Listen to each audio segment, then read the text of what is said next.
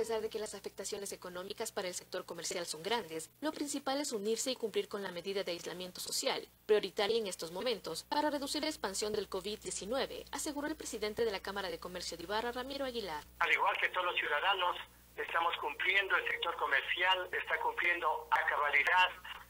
en su gran mayoría, la decisión de aislamiento adoptada por el gobierno nacional y por los gobiernos locales,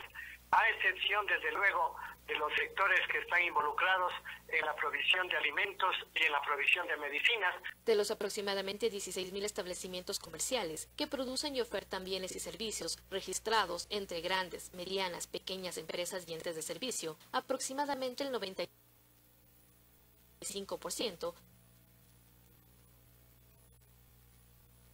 se encuentran totalmente paralizados. El sacrificio que está haciendo el sector comercial es enorme porque está ligado más que nada a la mantención de los puestos de trabajo y sobre todo a que se pueda en este mes ya, el día de mañana, pagar sueldos y salarios a fin de que los trabajadores que prestan sus servicios directamente con el sector comercial puedan recibir su remuneración a fin de que con ellos puedan mantenerse. Eh, por eso es que no solo podemos hablar de los comerciantes, sino también de todos los dependientes que están cerca de la actividad comercial. Según Aguilar, a más de que el reto de sostener los puestos de trabajo y las correspondientes remuneraciones es grande para el sector comercial, el tema crediticio se ha tornado complicado. Porque a pesar de que hay resoluciones de la Junta Monetaria de que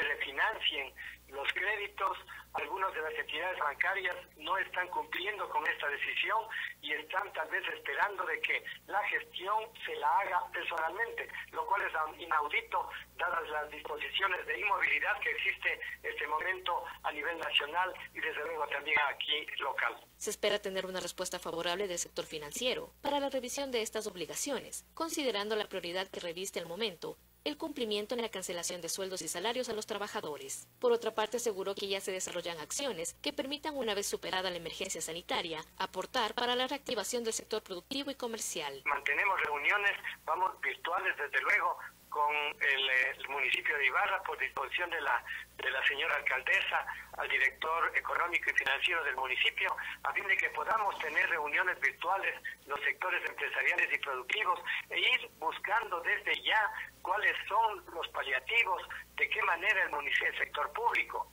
y concretamente el municipio de Ibarra, cómo puede aliviar la crisis del sector productivo, comercial y empresarial. Para ello ya se discuten varias de las posibles acciones, considerando que según ha mencionado la primera autoridad del Cabildo, en el cantón, aproximadamente el 75% de personas se dedican al comercio. Una de esas formas de las cuales estamos hablando es precisamente el diferimiento del pago de todo tipo de